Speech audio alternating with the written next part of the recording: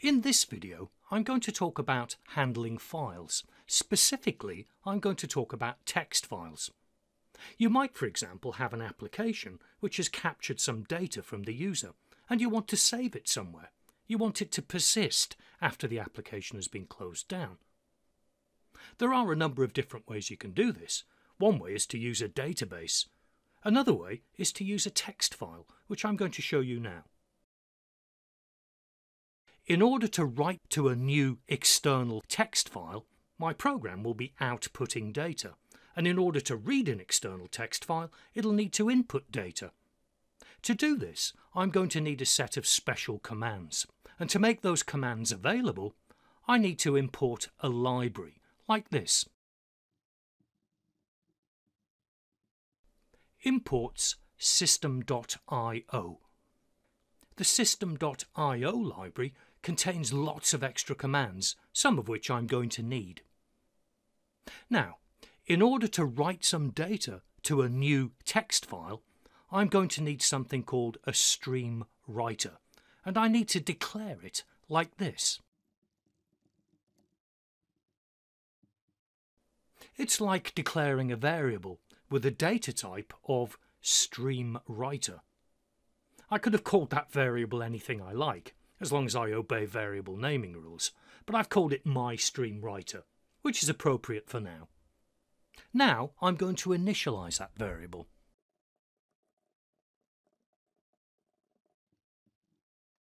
When I initialize this variable using the new keyword, I'm effectively creating a stream writer object. And I'm telling it what I want my text file to be called and where I want it to be saved. I followed the name and the path of the file with a comma and then the word true, which specifies that if the file already exists, I'm going to add new data to the existing file. If the file doesn't already exist, then it will be created automatically. Now this style of coding might seem a little bit alien to you. We're actually getting into the realms of object-oriented programming.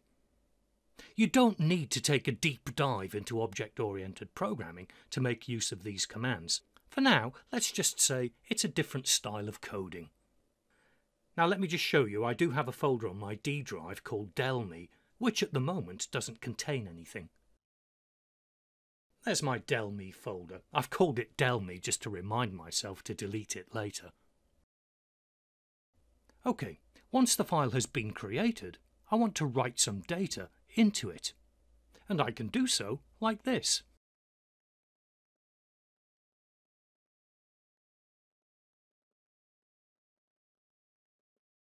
Notice I'm using the write line command. That means each piece of data which I write into the file will go onto a new line of its own, as you'll see in a moment.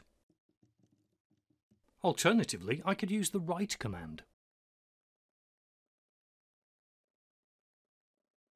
You'll see the effect of the write command in just a moment. Now that I've finished writing into the text file, I need to close the file. Otherwise, if another application needs to work with it, it won't be able to, because the file will already be in use. It'll be locked. MyStreamWriter.close. And I'm going to add one more line of code to this program, which is strictly speaking unnecessary but I want to see something happen when I've run the program. So let's give it a go. All done, very quick.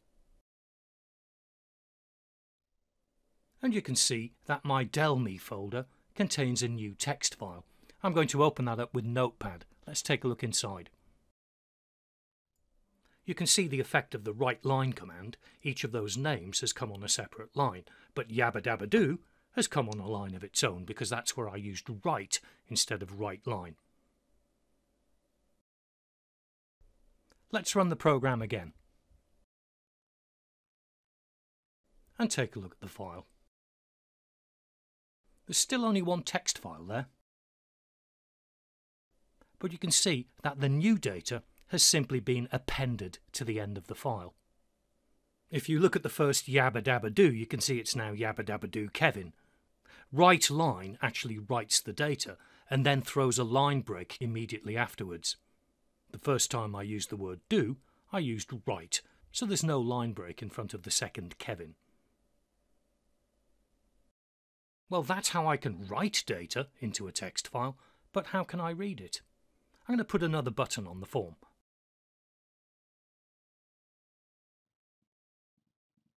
And this time I'm going to use a stream reader. As before, I could have named the variable anything I like. I'm using my stream reader for demonstration purposes. Perhaps read names would make more sense. Now I'm going to specify which file I want to read from. I'm effectively going to open the file.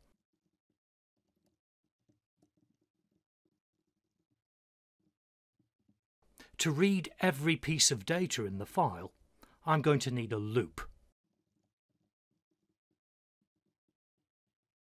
Do while not my stream reader dot end of stream. In other words, keep doing what's inside the loop while I am not at the end of the stream, while I am not at the end of the file.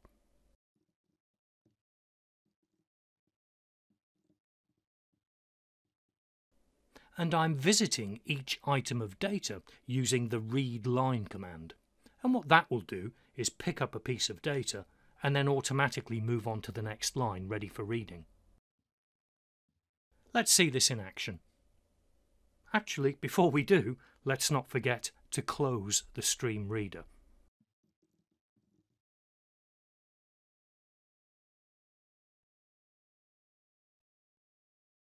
And you can see we're visiting each item of data, one after another, until we get to the end of the file. Rather than output each item in a separate message box, I'm going to build an output string instead. Just a regular string variable. And each time we pass through the loop, we're just going to concatenate the next item of data to the end of that output string, which I will output outside of the loop.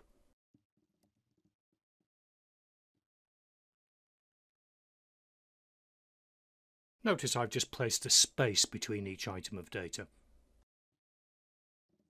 You may remember VB new line from an earlier video.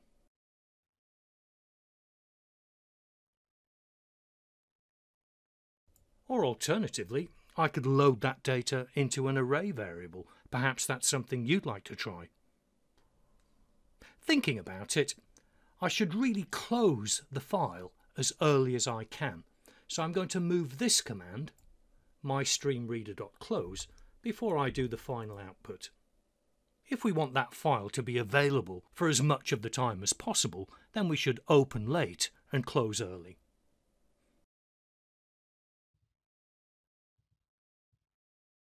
So there you have it, the stream reader and the stream writer. Now there is a lot more I can do with these two commands or to be more precise, with these two objects.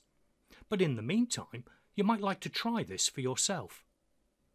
If you fancy a challenge, why not write a program to take some data from an array variable and write each item into a text file, and then write another program to read it back into an array?